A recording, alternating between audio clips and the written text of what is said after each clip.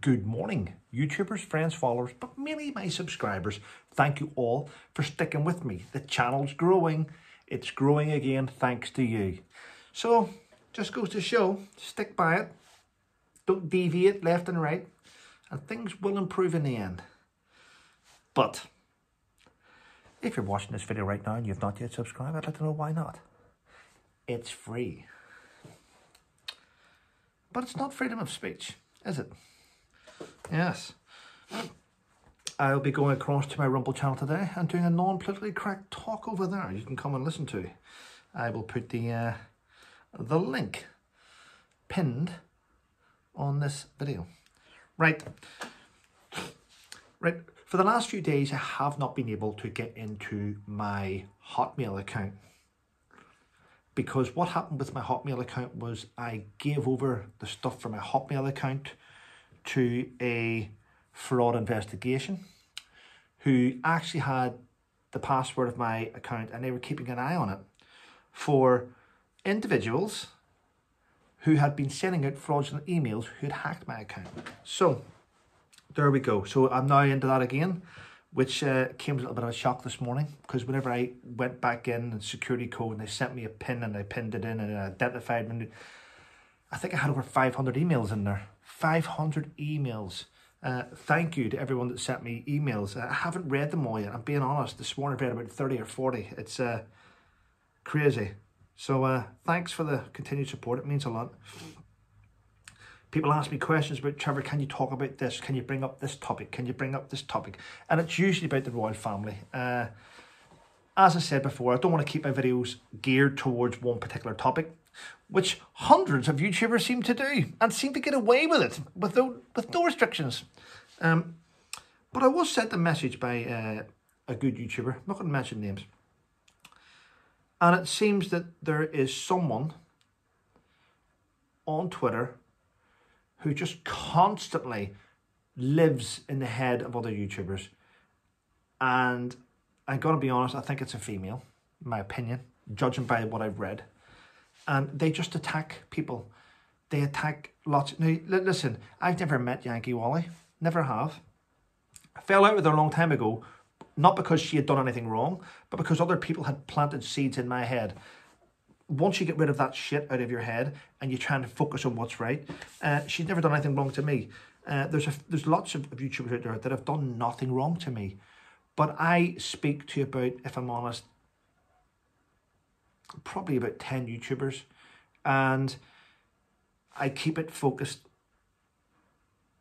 But there's YouTubers that don't like other YouTubers and, and it's not for my job to point it out, but it, you know, if you don't like them, just don't subscribe, block them. But what you shouldn't do is go onto another social media platform and just constantly attack them 24 7. It's fucking pathetic, but it is what it is, people, you know. Right. If you didn't know, the fuck here, here we go. In the UK, there's an issue. There's an issue with the fact that our homelessness are homeless, the fact that our veterans aren't getting housed, the fact that there's suppression on us all to, to, to pay more money out to the government and the bills, while other people are arriving on our country for a free pass with a British passport and everything handed to them. And it seems wrong. And it is wrong. Uh, taxpayers are under pressure, pensioners are fucking struggling, and the rest of us are just going, what do we do here? Uh, the, re- the reason behind all this, uh, and I, I want to point this out, I do not blame anyone coming to the UK for a free pass because our politicians have made it that have made it that way. So the politicians are to blame in the UK, massively.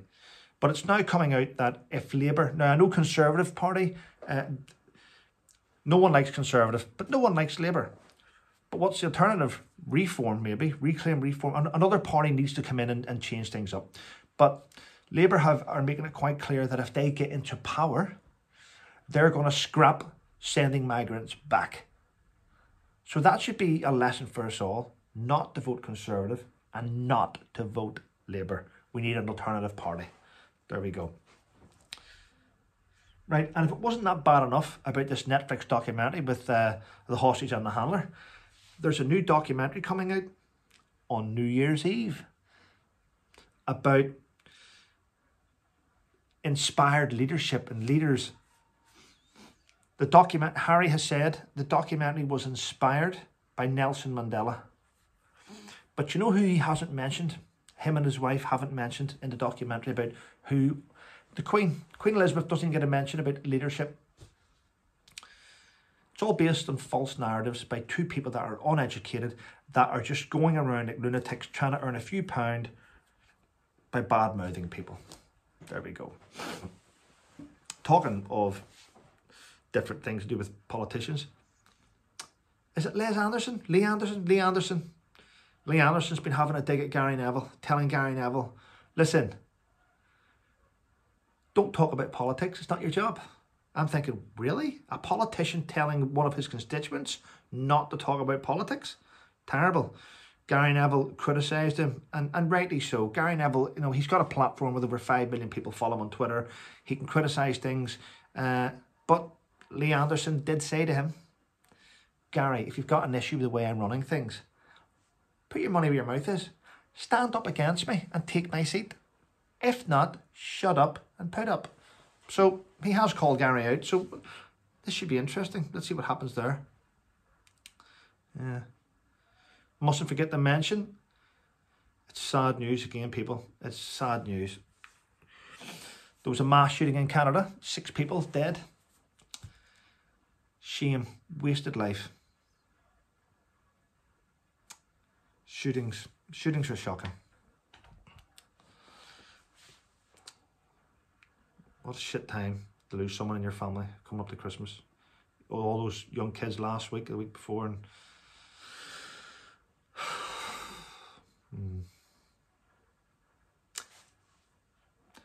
President Putin has now been showing people, ready? Listen to this.